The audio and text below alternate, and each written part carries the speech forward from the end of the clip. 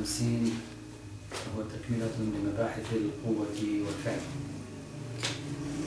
في هذا الدرس سيقوم المصنف في البداية بتطبيق القواعد والنتائج التي توصلنا إليها في بحث القوة والفعل فيما مضى.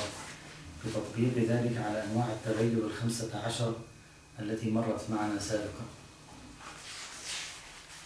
لكن قبل ذلك يمهد بمقدمة. يقول نحن استنتجنا فيما مضى أن القوة والفعل أمران انتزاعيان. وانتزاعهما يكون من منشأ الانتزاع. لكن لانتزاع القوة والفعل من منشأ الانتزاع شروط ثلاثة. ظهرت من مطاوي ما تقدم. يعني حتى أنا أستطيع أن أنتزع مفهوم القوة ومفهوم الفعل من أمر مما في الخارج هو منشأ انتزاع هذين المفهومين لا بد من تحقق شروط ثلاثة حتى يصح الانتزاع. إذا واحدة من هذه الشروط الثلاثة لم تكن متوفرة لا يمكن أن ينتزع القوة والفعل من هذا الواقع الخارجي. ما هي هذه الشروط الثلاثة التي انجلت معنا فيما مضى من ثنايا الكلام؟ واحد المقارنة.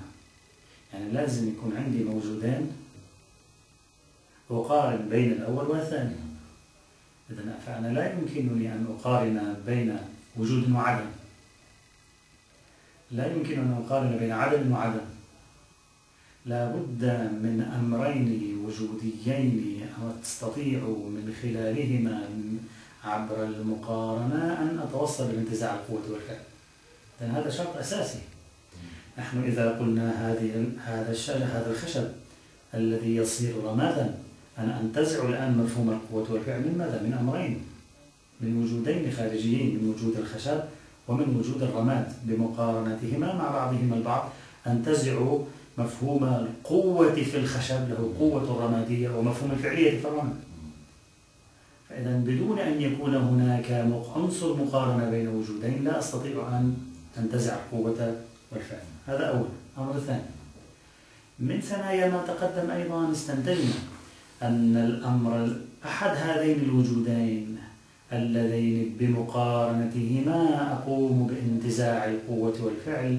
أحد هذين الوجودين لابد أن يكون متقدم زمانا. فما بصير مع التعاصر الزمني استنتج القوة والفعل. يعني أنا عندما يكون عندي خشب ويكون عندي رماد لابد من فرض الخشب سابق على فرض الرماد. حتى أستطيع أن أفرض القوة.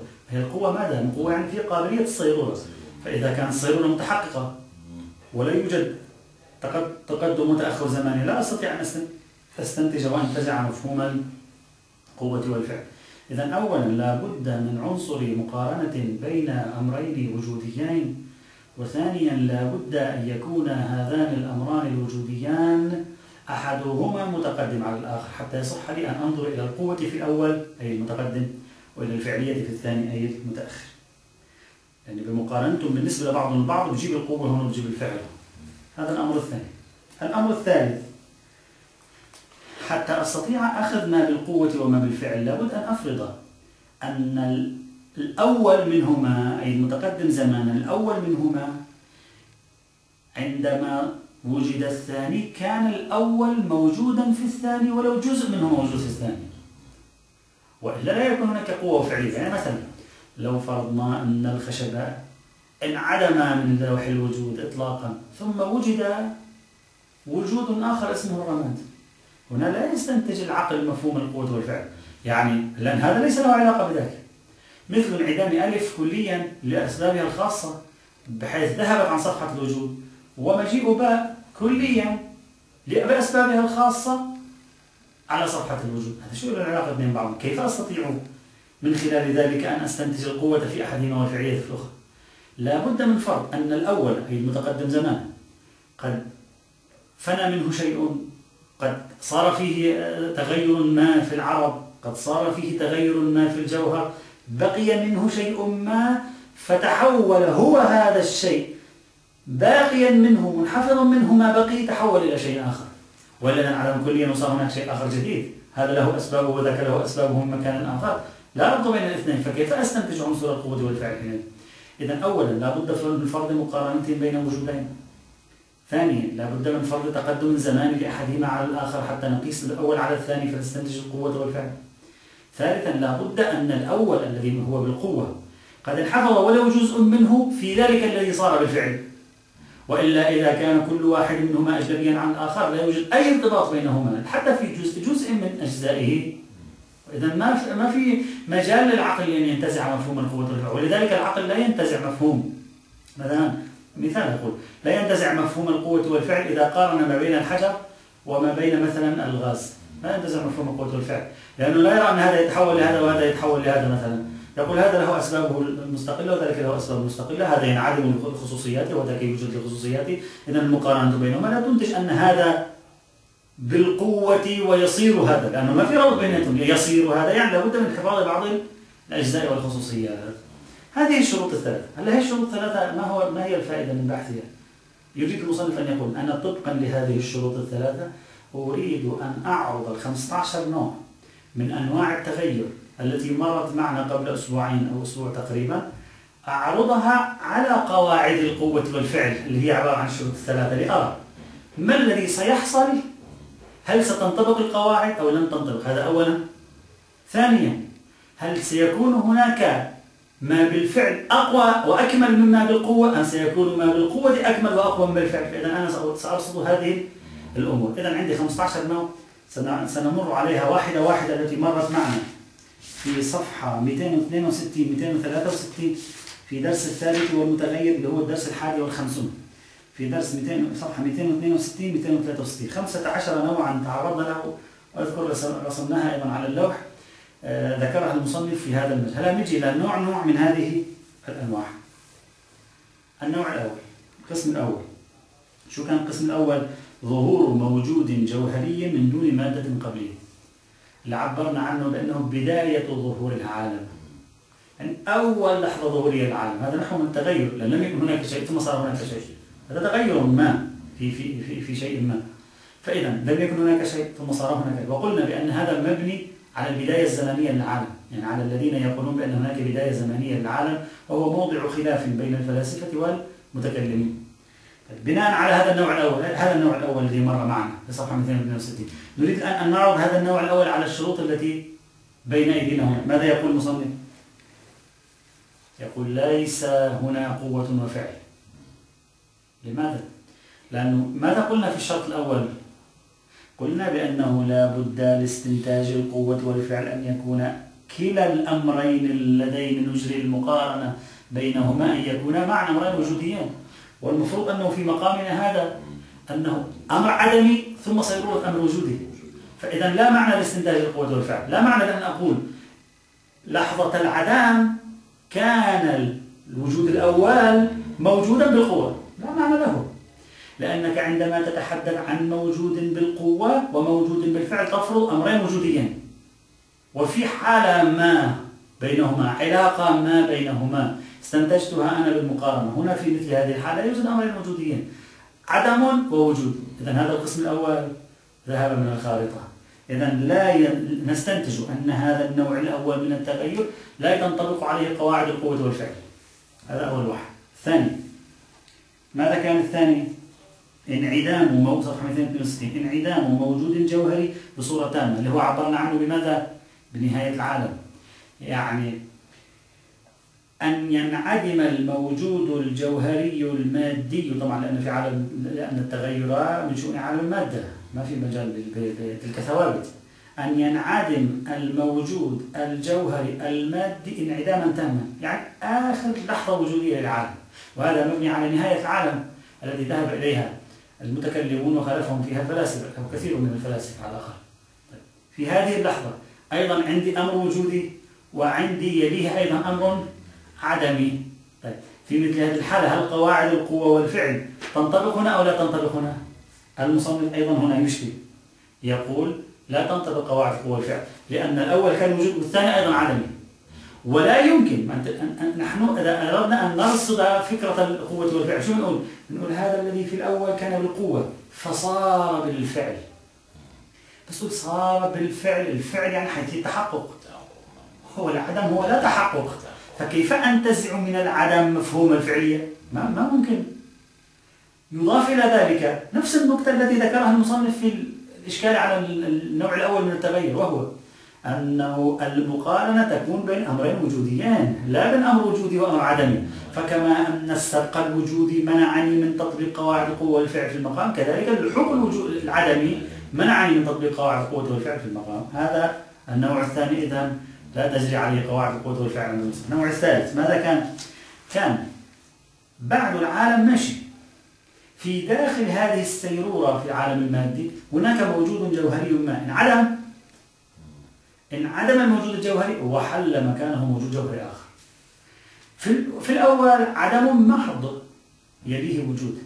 في الثاني وجود يليه عدم محض في الثالث وجود فانعدام فوجود بديل. هذا كان النوع الثالث من التغير. أن يكون عندي موجود جوهري يعرضه العدم فيزول من لوح الواقع ثم بعد ذلك يأتي كبديل عنه موجود جوهري جوهري آخر. هنا هذا النوع الثالث هنا في مثل هذه الحالة هل تنطبق قواعد القوة والفعل أيضا أو لا تنطبق قواعد القوة والفعل؟ المصنف أيضا في مثل هذه الحالة يقول لا تنطبق قواعد القوة والفعل. لماذا لا تنطبق قواعد القوة والفعل؟ لأنك عندما قلت انعدام موجود جوهري بشكل كامل ثم مجيء موجود جوهري بشكل كامل فقد فرضت أن الأول ليس له أي علاقة بالثاني وقد فرضت أنه لا توجد جهة اشتراك بين الأول والثاني. إذا لا توجد جهة اشتراك بين الأول والثاني. تذكروا الشرط الثالث من شروط القوة والفعل. ماذا كان؟ أن يبقى من الأول شيء منحفظ في الثاني. إذا لا يمكن صدق قواعد القوة والفعل في المقام.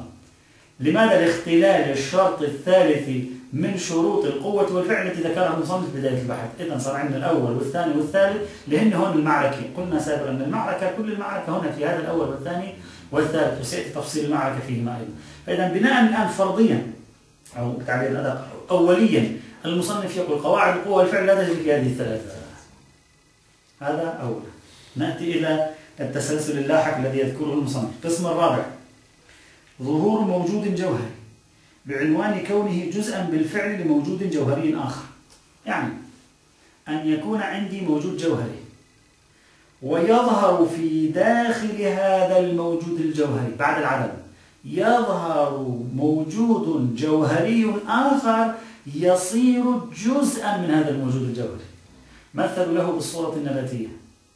فإنك أنت في الصورة الترابية مثلا هناك موجود جوهري. هذا الموجود الجوهري لا يزول. يظهر فيه موجود إضافي جوهري آخر وهو النباتية. فيصبح موجود جوهري جديد مركب من الموجودين الجوهريين هذين. وهما الجوهر الترابي مثلا والجوهر النباتي بما هو نباتي. فيتركب منهما فيصبح عندي تغير وتحول. هذا أيضا مصداق من مصادق التحول. فإذا النوع الرابع أن يكون عندي موجود جوهري بالفعل. مركب مثلا من جزئين لنفرض. ثم يوجد موجود جوهري بالفعل كامل يدخل في هذا الموجود الجوهري الأول فيصبح جزءا منه. وهذا أيضا نوع من أنواع التغير. يعني لا يستطيع أن أقول ليس تغير هذا تغير. النبات التراب مثلا هو بنفسه طرأ عليه موجود جوهري جديد وهو الصورة النباتية. طبعا بناء على الصورة النباتية يعني كل هذا بناء على فرضياتهم في فيما يتعلق بالطبيعيات. طيب إذا بناء هل هذا يمكن أن أتحدث فيه عن كمال أو عن نقصان؟ وهذا ينطبق عليه قواعد القوة والفعل هذا ما في مشكلة. هذا تنطبق عليه قواعد القوة لأن الترابية موجود له بالقوة له قوة الصيرورة إلى أن يندمج في الموجود جوهر آخر فيصبح نباتا هنا نقول هنا نقول مجيء الجزء الجوهري الإضافي والمفروض الجزء الأول بعده على حاله. الحالة الأولى ما زالت على حاله. هنا نقول ما هو بالفعل أكمل مما هو بالقوة. لأن الذي هو بالقوة جزء جوهري لنفسه وما هو بالفعل صار جزئين. فإذا الوجودان كمالين. والوجود كمال واحد إذا صح التعبير فإذا يكون ما بالفعل أكمل مما بالقوة في هذه الحالة. هنا المصنف لا يناقش في أنه قوانين القوة والفعل تصدق أو لا تصدق أو لا تصدق لوضوح صدقها. فإن التراب بالقوة يمكن أن يصير نباتان.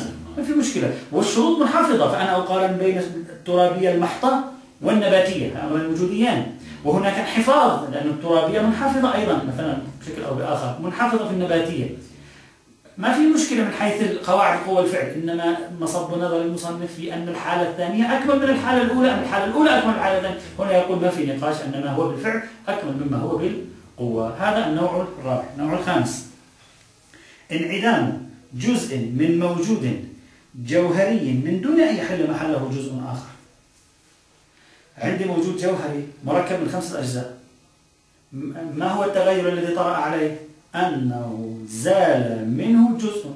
قوست زال منه جزء. كان مركب هذا الموجود الجوهري من خمسة أجزاء. بعد أن طرأ عليه التغير صار أربع أجزاء بس. لا أجي جزء ثاني ولا صار تحول وكان خمسة وصار أربعة. مثلوا له في حينه قلنا. مثلا مواد بعض الأشجار تموت الشجرة. شو يعمل تموت الشجرة؟ يعني بعض خصائصها زالت. هي لا تنعدم من الوجود لكن بعض خصائصها تزول. هنا هل هذا قوة وفعل؟ نعم هذا من مصادر القوة والفعل لأن هذا الشيء اللي هو خمس أجزاء يمكن أن له قابلية الصيرورة إلى أربع أجزاء. طيب هنا نقول ما هو بالفعل؟ أكمل مما هو بالقوة أم لا؟ إذا تذكرون في الدرس الماضي كانوا يقولون دائما المسيرة تصاعدية أما المصنف ما قبل بهذا الكلام؟ وسيأتي تفصيل كلامه فيما بعد. المصنف هنا يقول المسيرة التنازلية فإنه كان عندنا خمسة وصار عندنا أربعة. أي أفضل؟ الخمسة الخمسة باعتبار أنها خصائص وجودية أزيد. فالخمسة كانت أكمل. والتغير صار بفقدان جزء فقط. فإذا هنا ما بالفعل صار أنقص مما هو بالقوة. هذا النوع الخامس إذا أول النوع الأول والثاني والثالث اللي هو وجود الموجود الجوهري بعد عدم المحض. أو انعدامه نهائيا. أو وجود موجود وانعدامه ومجيء أحد آخر مكانه. هذه الثلاثة قال المصنف خارج عن دائرة القوة والفعل هذا واحد. هذه الثلاثة الأولى.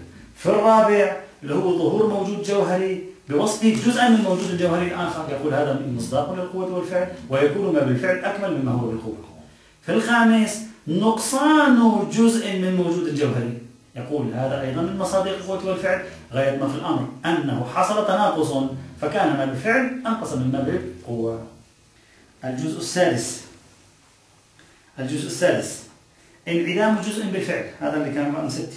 انعدام جزء بالفعل من موجود جوهري وظهور جزء آخر مكانه. يعني عندي موجود جوهري مؤلف من خمسة أجزاء. زال الجزء الخامس ثم جاء مكانه جزء بقي خمسة. زال الخامس واستبدل موضعه بشخص آخر بجزء آخر. هنا في هذه الحال هل هناك قوة وفعل؟ نعم واضح في قوة وفعل في حالة صيرورة طيب أيهما أكمل؟ يقول المصنف ما فينا نحسن الأكمل لماذا؟ لأن هذا رهين بمقارنة الجزء الفائت مع الجزء الإضافي. فربما يكون الجزء الإضافي أكمل وجودا من الجزء الفائت وربما يكون العكس. فتتختلف النتيجة تبعا لاختلاف حال الجزء المفقود بمقارنته بالجزء الموجود. إذا هذا أيضا جزء هذا القسم السادس انتهى. الجزء القسم السابع. شو كان القسم السابع؟ هو الحركة. القسم السابع كان عبارة عن حركة لا سيما في الجوهر. الحركة الجوهرية انعدام جزء بالقوة من الجوهر ومجيء بالقوة آخر مكانه في الجوهر. لعبر عنها بالحركة الجوهرية. هنا الحركة القسم السابع هو الحركة عموما. الحركة هل هي قوة وفعل؟ وإذا كان قوة وفعل في عندي تكامل المصنف يقول هذه بحاجة لتأمل لأنك أنت لو لو تأملت الحركة جيدا الحركة ليست هي عبارة عن صيرورة جزء جزء آخر. الحركة وجودات لا اشتراك بينها. يعني أنا إذا أردت أن أتحرك من هذا المكان إلى هذا المكان. ما هي الحركة؟ قطع المسافة. لما خطأت الخطوة الأولى هذا حدث وجودي. له علاقة بالخطوة الثانية؟ الخطوة الثانية حدث وجودي. يعني لأن الخطوة الثانية كانت موجودة في الخطوة الأولى بقوة. في الخطوة في الحركة لا في المتحركة. لأنها كانت موجودة في الخطوة الأولى بالقوة. وهي كل خطوة لوحدها. لا نقول الخطوة الأولى كان موجود فيها بالقوة الخطوة الثانية. ما علاقة. تلك خطوة تلك خطوة. فإذا إذا نظرنا إلى الحركة وتأملناها جيدا سنجد أنها عبارة عن قطعات منفصلة. ما في ارتباط ومن ثم لا مع... ليس واضحا تطبيق مفهوم القوة والفعل هون بلحاظ الجزء الأول مع الجزء الثاني هذا معنى تطبيق والفعل يعني لو لاحظت الجزء الأول لا نقول أنه بالفعل هو الجزء الثاني. لا الجزء الأول انعدم راح. شو ما هو بالفعل الجزء الثاني. هذا يصبح حاله إذا أردنا أن نشبه. يصبح حاله مثل القسم الثاني اللي هو القسم الثالث معذرة اللي هو ظهور موجود جوهري. انعدامه ثم ظهور واحد آخر مكانه. وهذا قلنا لا ينطبق عليه قانون القوة والفعل. ليش؟ لأن هذا لا اشتراك بينهما هو نفس الشيء. ظهور جزء هو الخطوة الأولى. وانعدامه تمت. ثم ظهور جزء ثاني وهو الخطوة الثانية. وانعدامه تم ثم ظهور جزء ثاني وهكذا. فإذا هذا ما دام لا اشتراك بينها إطلاقا. فإذا بأي معنى أقول أنه فيما بينها ترابط القوة والفعل؟ نعم. ممكن واحد يتصور الحركة كلها عبارة عن خط واحد. وهذا تصور يعني ذهني ليس له واقع الخارج. يعني في الخارج لا يوجد هذا العنصر الاتصالي هذا بالشكل هذا. هذا الاتصال اعتبره خط واحد وأجزئه إلى أجزاء. اعتبره خط واحد وأجزئه إلى أجزاء. ممكن أن أتعاطى أن أجزئه إلى أجزاء وأقول الجزء الثاني يعني الجزء الأول مقدم للجزء الثاني وأتعامل معه كأجزاء على أساس أنه خط واحد ولا هو بالدقة مجموعة أحداث يعني متفرقة عن بعضها البعض ليس بينها اتصال بمعنى من أنحاء الاتصال. نعم إذا أخذت المتحرك نفسه يعني الموجود الجوهري المتحرك ممكن نقول هو بالقوة في الخطوة الثانية. يعني إذا قست المتحرك نفسه إلى الخطوة الثانية أو قسته إلى الخطوة الثالثة ممكن أقول هو بالقوة في الخطوة الثالثة. هو بالقوة في الخطوة الرابعة. وما شابه ذلك. أما إذا الخطوات مع بعضها البعض فالخطوات مع بعضها البعض. وجودات توجد فتنعدم فيوجد بديل مكانها لا اشتراك بينها ولا ترابط. فإذا فيما يتعلق بهذا الجزء النوع السابع من أنواع التغير المصنف يميل إلى أنه لا علاقة له بالقوة الفعل إلا بضرب من اللحاظ. إذا لاحظته من جهة معينة يمكن أن تسميه قوة وفعل وإلا في واقع عمله في حقيقة أمره لا ارتباط له إطلاقا. الجزء النوع الثامن والتاسع والعاشر هذا ثلاثة مع بعض البعض الثامن والتاسع وعاشر. هذا الثامن ما هو الثامن والتاسع والعاشر؟ هو نفس الأول والثاني والثالث لكن في العرض. هناك في الأول ماذا قلنا؟ ظهور أول موجود جوهري. ظهور موجود جوهري. انعدام موجود جوهري. الثالث ظهور موجود جوهري. انعدامه ووجود آخر مكانه ونفس الشيء. ظهور وعرض. هذه حالة. اثنين. انعدام وعرض. في حالة. اثنين ثلاثة وجود عرض. انعدامه ماشي آخر مكانه. يقول هذه حكم حكم الأول والثاني والثالث. نفس القاعدة. ليش نفس القاعدة؟ لأن المفترض ظهور عرض بعد عدم. العدم هو الحالة السابقة والمفروض في القوة والانتزاع أن يكون مقارنة بين الوجودين. انعدام عرض بعد الوجود لا يمكن انتزاع الفعلية من العدم. ظهور عرض انعدامه ثم وجود آخر مكانه لا يوجد اشتراك بينهما. اختل الشرط الثالث. فإذا القسم الثامن والتاسع والعاشر حاله حال القسم الأول والثاني والثالث في أنه لا تجري عليهم قانون قوانين القوة والفعل. هذا أيضا صار واضح عند المصنف في هذا الإطار. القسم الحادي عشر والثاني عشر. طبعا القسم الحادي عشر والثاني عشر عند المصنف يشبه القسم الرابع والخامس. القسم الحادي عشر والثاني عشر طبعا المصنف ما اعتبرهم من التغير. انعدام جزء بالفعل لعرض اللي هو رقم خمسة صار رقم أربعة. هذا فقط في الأعداد. الجزء الثاني عشر ظهور جزء بالفعل لعرض كان خمسة صار ستة. العدد العدد بما هو عدد. يعني الزيادة العددية رقم 12 النقيصة العددية رقم 11 وهذا مثله مثل القسم الرابع والخامس. ظهور جزء من موجود جوهري. ظهور جزء بالفعل. يصير جزءا من موجود جوهري. أو انعدام جزء من موجود جوهري. نفس الكلام الذي قلناه في الرابع والخامس. يكون بعين. ماذا قلنا في الرابع؟ قلنا بأن ظهور موجود جوهري جزءا بالفعل من موجود جوهري آخر يعطيه كمالا يعني إذا كان رقم خمسة وصار ستة إذا نطبقه على رقم 12 هون. إذا كان رقم 5 صار رقم 6 فإذا ما بالفعل أكمل مما بالقوة لأن ما بالقوة كان رقم 5 وما بالفعل صار رقم 6 إذا أخذنا النقصان بعين الاعتبار أو سيكون أنقص. إذا كان عندنا رقم 6 ثم نقصت وصارت رقم 5 هذا التغير بالقوة هو رقم 6 يعني رقم 6 بالقوة يصبح رقم 5 وبالفعل هو رقم 5 وهذا ما بالفعل أنقص كمالا مما هو بالقوة. صحيح ولا لأنه بالقوة كان 6 وأنا صار 5 فإذا هذا نفس الكلام الذي مر معنا هناك ينطبق هنا بلا زيادة ولا نقيصة. إذا حتى الآن صار عندنا 12 آه، جزء. رقم 13 رقم 13 هو بعينه. رقم 7 غايته في باب الأعراض. نفس الذي قلناه في بحث الحركة الجوهرية. هو بعينه لكنه في الأعراض من أن الحركة إذا نظرنا إليها كل جزء جزء منها فلا يوجد اشتراك فيما بينها وإذا لا يوجد اشتراك فيما بينها فلا ينطبق عليها قواعد القوة والفعل للزوم الحفاظ الاشتراكي بين ما بالقوة وما بالفعل وهذا واضح. أما إذا نظرنا إليها من زاوية ما هو معروض هذه الأعراض المتحركة. معروضها هذا يمكن أن ننظر إليه إلى بالقوة بالفعل مثل المتحرك الذي تحدثنا عنه. لا زيادة ولا نقيس. يبقى القسم الرابع عشر. والقسم الخامس عشر وهذا حاله واضح. القسم الرابع عشر والخامس عشر حاله مثل حال القسم الرابع والخامس. يعني تعلق موجود جوهري بموجود جوهري آخر كتعلق الروح بالبدن الذي تحدثنا عنه سابقا. هذا كمال يعني إضافة وجودية. انفصال هذا التعلق هذا نقصان لأن الفقدان موجودي فإذا صار عندنا الأول والثاني والثالث اللي صفحة 262 الأول والثاني والثالث وكذلك الثامن والتاسع والعاشر لا تجري عليها هذه الست أنواع لا تجري عليها قواعد القوة والفعل. أما النوع الرابع والخامس والسادس والسابع والحادي عشر والثاني عشر والثالث عشر والرابع عشر والخامس عشر فهذه تجري عليها قواعد القوة والفعل. غايته في بعضها يكون ما بالفعل أكمل وفي بعضها يكون ما بالقوة أكمل وفي بعضها تحديد كمال ما بالقوة عن كمال ما بالفعل موقوف على ملاحظة الجزء البديل الذي تم استبداله. فربما يكون أكمل وربما لا يكون أكمل.